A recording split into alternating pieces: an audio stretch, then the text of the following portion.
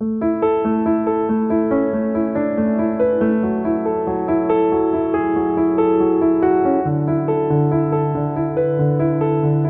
brothers and sisters here present and hundreds of our friends watching and listening, listening to this message from the comfort of your homes, we welcome you to this hour when the Lord is speaking to us. Shall we pray? Father, we thank you that you have called us to speak to us even at such a time as now. Help us to listen to your voice. In Jesus' name we pray. Amen. Uh, brothers and sisters, we are living at a time when the government keeps reminding us of the instructions and the simple rules that we need to take, even at such time when millions uh, over the world are living in fear because of the coronavirus. And indeed, the instructions are not new because even from the Bible, as we shall see briefly, God kept on issuing instructions that He expected His people uh, to follow, to obey, to adhere to. And therefore, as we look at uh, the Word of God from Exodus chapter 12, from verse 1 to verse 17, we see and we hear God giving instruction to His servant Moses so that Moses can in turn relay the same message or instruction to his people. And what are we to learn from what God is giving to his people?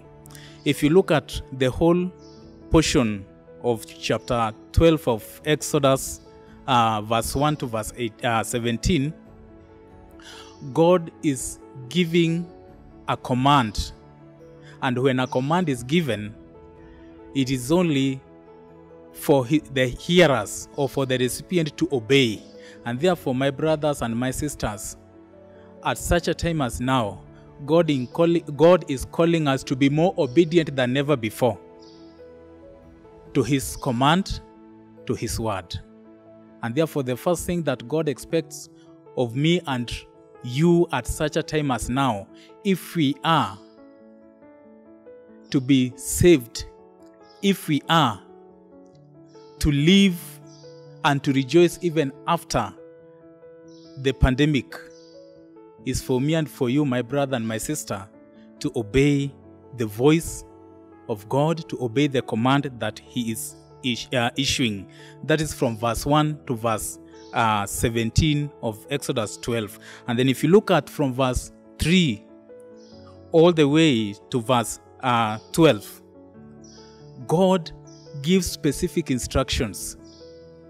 And indeed, each and every day, we see our cabinet secretary of, or, or the minister for, of, for health giving instructions to people.